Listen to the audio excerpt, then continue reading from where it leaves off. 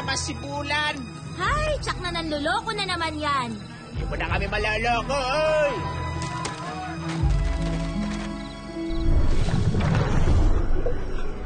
Ang sarap talaga ng buwan. At ang sarap din ng tulog ng mga tagabanwa. Wala na namang nakakita sa akin.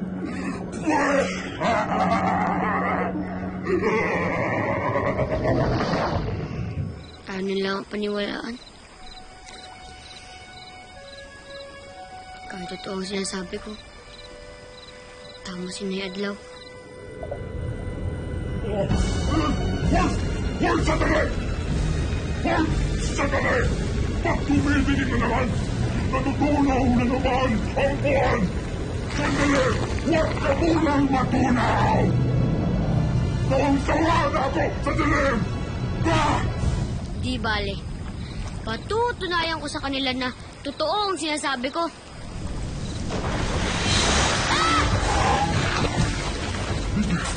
Hey!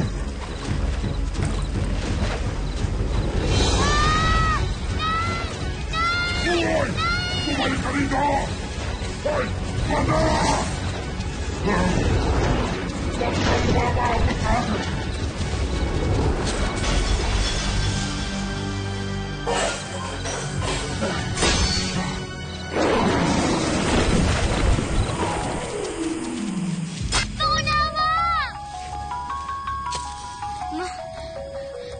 Mahal na dato lawon. Nakita ko po ang bakunawa. Bakunawa? Kinain po ng bakunawa ang buwan. Kita-kita ko po.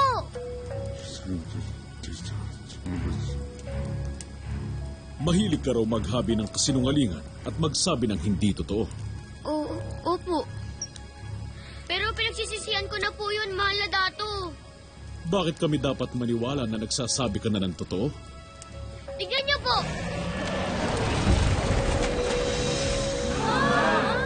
Mahapaging bathala. Totoo nga. Tsak na babalik po ang bakunawa. Magpaalam na tayo sa ating mga minamahal!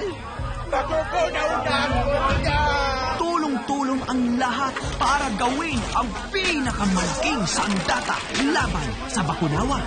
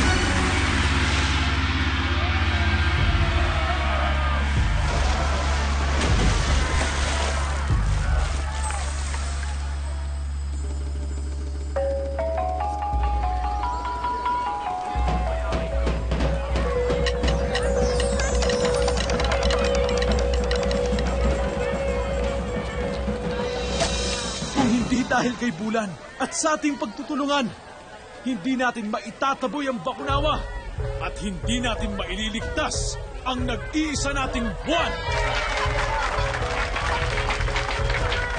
Mula noon, hindi na muling nakita ang Bakunawa.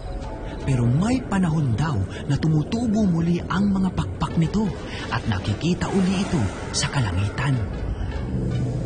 Tuwing mawawala ang buwan sa kalangitan, sinasabing nagbalik ang Bakunawa at nilulun muli nito ang buwan.